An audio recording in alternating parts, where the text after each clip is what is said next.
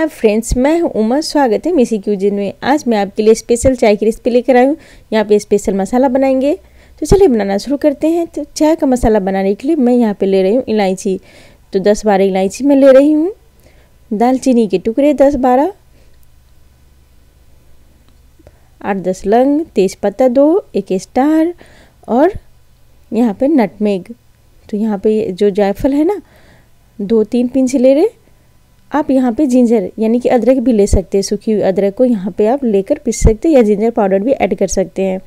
तो low flame पे हम इन्हें भून लेंगे दो से तीन मिनट तक।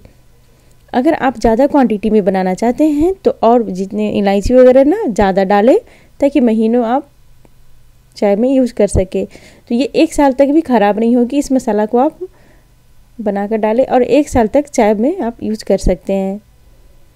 तो जैसे ही ठंडा हो जाएगा, हम यहाँ पे इसे पाउडर बना लेंगे। तो महीनों ये मसाला चलेंगे, सालों चलेंगे, पर ये ख़राब नहीं होंगे। तो ये पाउडर बन के तैयार है। मैं यहाँ पे इतना आपको बता रही हूँ कि इस तरह से आप बना के डालें और आप सुबह सुबह जब चाय बनाएँ तो बहुत कम टाइम में आप इसे बनाकर तैयार कर लेंगे। तो आप इसे स्टोर करके भी रख सकते हैं। तो स्टोर करने के लिए कोई भी आप जो जिसमें स्टोर करें अच्छे से धो ले, धूप में सुखा ले, तभी आप स्टोर करें। तो अब चलते चाय बनाने की तरफ़। तो मैं यहाँ पे ले रही हूँ चाय बनाने वाले पैन। यहाँ इसमें डाल रही हूँ पानी। तो मैं एक कप पानी डाल रही हूँ। यहाँ पे डाल रही हूँ शुगर, यानी कि चीनी, दो चम्मच के करीब। अपने टेस्ट के अकॉर्डिंग ही चीनी ऐड करें, कम या ज़्यादा। यहाँ पे डाल रही हूँ मैं चाय पत्ती। तो दो बड़े चम्मच चाय पत्ती। अगर आप कड़क चाय पीते तो थोड़ा ज़्यादा डालें, या कम कड़क पीते तो थोड़ा सा कम डालें। अदरक तो मैं वहाँ पे अदरक यूज़ नहीं की थी मसाले में। तो इसलिए अदरक मैं फ्रेश कूट कर डाल रही हूँ। तो आप मसाला बनाकर तैयार कर ले और अदरक जब चाय बनाए तो उस टाइम भी ऐड कर सकते हैं आप। तो इन सबको मिक्स कर देंगे और अच्छी बॉयल आने देंगे। जैसे तीन चार बार इस तरह से बॉयल आ जाएगा तो मैं यहाँ पे दूध ऐड करूँगी एक गिलास अगर आप ज़्यादा जितनी आपकी चाय पीनी उतनी दूध ऐड कर सकते हैं।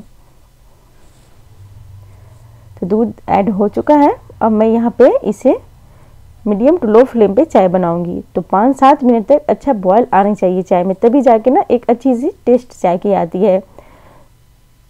चाय पीना हर किसी को पसंद है, ठंडी हो या गर्मी हो या बरसात की मौसम हो। पर ये मसाला अगर है तो चाय बनाना बहुत ही आसान हो जाता है। तो मैं इसमें बताऊँगी कि ढाबे वाली चाय कैसे बनाई जाती है। जो तंदूर चाय आजकल बहुत चली हुई है ना, वो चाय कैसे बनाई जाती है। तो मैं यहाँ पे लास्ट तक आप वीडियो में बने रहे, देखें मैं आपको तंदूर चाय भी बनाना सिखाऊँगी।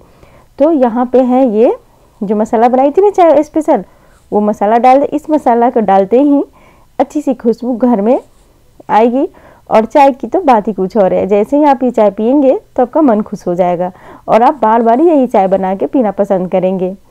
तो अच्छा देख रहे हैं तो इस तरह हमें बॉयल आनी है और करछुल इस तरह से ऊपर कर करके चाय को उठाकर इसमें डालनी है। इससे क्या होगा ना, एक अच्छे फ्लेवर आएँगे, जलेंगे। चाय तो ढाबा वाली टेस्ट भी आएगी। तो ये इस इस प्रोसेस के हमें आठ दस बार लगातार करनी पड़ती हैं। चाय में चाय में अच्छी बॉयल आनी पड़ती है। तभी तो जाके स्पेशल चाय बनती है।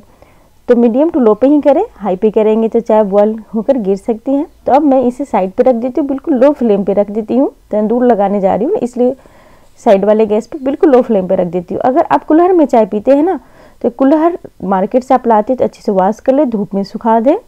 और इस तरह से दो से तीन सेकेंड्स के लिए आप इसे ना हाई फ्लेम पे इसे दिखा दे। इसे क्या होगा ना, एक अलग फ्लेवर आएँगे। चाय में पियेंगे ना तो बहुत ही अच्छा टेस्ट भी जनरेट होंगे स्मोकी स्मोकी टाइप का।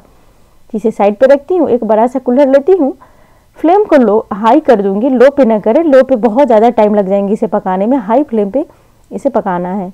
यानी कि चार पाँच मिनट तक ना ये बड़े से कूलर को हमें जलाना है। तब तक ये ब्लैक ना हो जाए। आप देखेंगे ना पाँच छः मिनट बाद अच्छे से ब्लैक एकदम पकने लगेंगे, बहुत सावधानी से। ये वाली अगर आप चाय पी रहे हैं कूलर वाली तो इसे बहुत सावधानी से करें, इस तरह से चिमटी से। और इसे अलट पलट के हमें बहुत ही अच्छे से बेसिकली इसको जला देना है। तो जाके तंदूर वाली टेस्ट आती है। और साइड वाले गैस पे ना लो फ्लेम पे ही चाय रखें, ताकि चाय अच्छी गर्म होनी चाहिए। क्योंकि इधर ध्यान होगा, अगर उधर हाई फ्लेम आप कर देंगे तो चाय गिर सकती है, इसीलिए लो फ्लेम में बोल रही हूँ।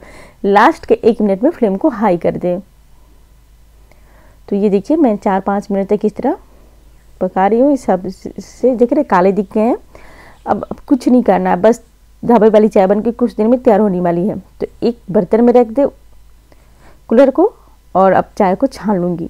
दिखेंगे, आप छानेंगे तो एक अच्छे से स्मोकी सा फ्लेवर इसमें आ जाएँगे। जब आप पियेंगे ना तो आपका मन बहुत बहुत खुश हो जाएगा और घर में बार बार डिमांड आने आने वाले कि आप ये चाय की रेसिपी बनाएँ? तो ये मैं यहाँ पे छान चुकी हूँ। अगर वीडियो पसंद आती है तो प्लीज़ मेरे वीडियो के नीचे लाइक का बटन क्लिक करें, मेरे चैनल को सब्सक्राइब करें शेयर करना बिल्कुल ना भूलें। तो मैं इसे, ये जो कूलर है इसे हटा देती हूँ, अब चलते हैं सर्विंग प्रोसेस पे।